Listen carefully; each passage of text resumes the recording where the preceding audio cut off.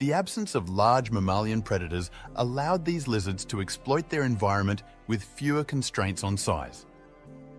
In this evolutionary crucible, the Komodo dragon has developed not only formidable physical dimensions, but also a suite of adaptations that contribute to its success as a top predator. The larger size provides advantages in hunting, scavenging, and establishing dominance within the ecosystem. Island gigantism, as observed in the Komodo dragon, serves as a living illustration of how isolation can sculpt the evolutionary trajectory of a species. The unique set of circumstances on these Indonesian islands has favoured the development of this awe-inspiring reptilian giant, offering valuable insights into the dynamic interplay between environment and biology.